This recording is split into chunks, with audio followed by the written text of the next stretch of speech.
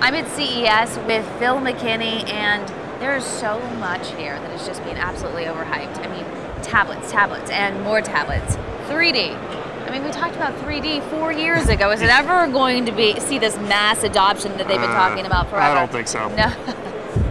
and then the ultrabooks. I mean, it's all about the ultrabooks. Mm-hmm. So, what is it that is not being talked about that we can show people? Something that we haven't seen before. Well, we're going to show three different technologies that are going to be coming out over the next 12 to 24 months. These are not products that were announced that are available for immediate shipment, but they're really cool innovations that are going to open up consumer access to technologies that have just never been considered before. Good. I like looking forward to things. Let's go. Let's go. So this is one of the first companies I wanted to show you. It's a concept called MetaWatch.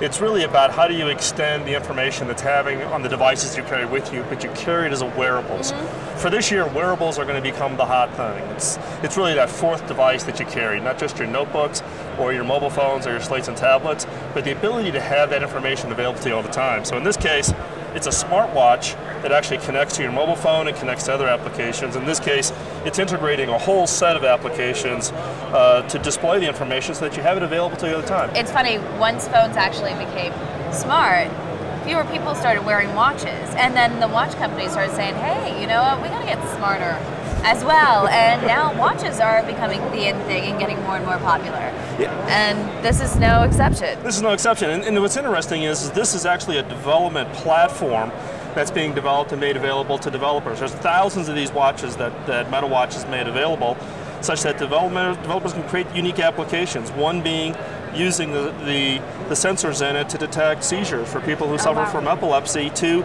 games in the case of this example. So you carry the watch on your wrist. As you walk into geolocation areas like stores, you get points automatically credited to your uh-huh. account. So there's a Give whole a wide fifty dollar gift certificate at $50 Best Buy. Right, or you know, you get two dollars off your latte at Starbucks. And the key here, though, is, is the ability to integrate all of these together and create a platform that really just makes it really simple. So, Kim, this is Tobii. This is a technology that's really focused on how to use alternative ways of interacting with your computer. In this case, it's using eye tracking.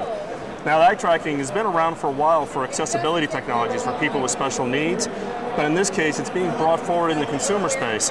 You can think about it as an alternative using your touchpad, but also having applications to control your smart TVs. No longer do you have to worry about pointing just by simply looking at the image and selecting it. It actually automatically scrolls and changes its position, and you actually can drive the interaction. We're all waiting for uh, you know what's next. What is going to go beyond the, the keyboard and the mouse, even the, the touchpad. I mean, you have some voice recognition technologies, but when are we going to see the voice and even this eye recognition technology actually, you know, be available in, in a, on a mass market basis? Well, everybody's been experimenting. Voice recognition's been around for decades, but the accuracy isn't there.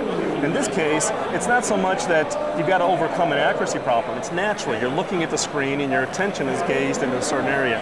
In this case, from this company, this technology, think of it about 24 months out from a commercial product being available on the shelf. Okay, so on to our final product. So, Kim, one of the biggest challenges that consumers are facing today is really this loss of uh, credit card information.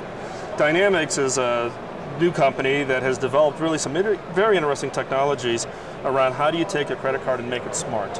Smart from the standpoint of managing all of your credit card information. In this case, you have a single card that actually has both of your information, your normal credit card and let's say your debit card. Simply by pressing the button, that becomes the credit card that's active. The mag stripe is dynamically written at the time you press the button. So if you lay this card down, the mag stripe goes back to zero. But now I can dynamically change it and make it be valid for other cards. So this actually reduces the number of cards. Wow. But what's more interesting though is this ability to have these dynamic cards. So in this case, I have a credit card that's smart and, and, and set up that gives me my credit card information. But by simply toggling a key, I now get a one-time credit card number that I can use for online transactions. In this case, now I can make a transaction online, and when I put that credit card information in, if that company somehow loses that information or it gets stolen, I don't have They to don't worry. have all of your they don't have that information, information. You don't care. It has no impact on your credit card process. In this case, they've developed technologies and capabilities to build all this into the same thickness as a normal credit card. So it fits in and it has all the flex that you needed from the standpoint of the durability. So who's actually going to be providing these cards? Are these going to come from our credit card company? So they're the ones that have to actually adopt them first? Right. So this is a case where the credit card companies are trialing these today from, from Dynamics. And from the standpoint of for them, it's about securing that transaction, but also changing the way you use your credit card. In this case, you have a credit card that's not only your normal regular credit card, but also acts as your rewards. So now rather than you going online and buying something from the rewards, now you can go out to any store that accepts, let's say Visa or MasterCard, hit the rewards button, swipe it, and you can buy your items right from your rewards list without having to go through any special process. And it also has a medical application. Yes, in this case with LifeCode, one of the biggest challenges is getting access to your private information when you when you're injured or hurt.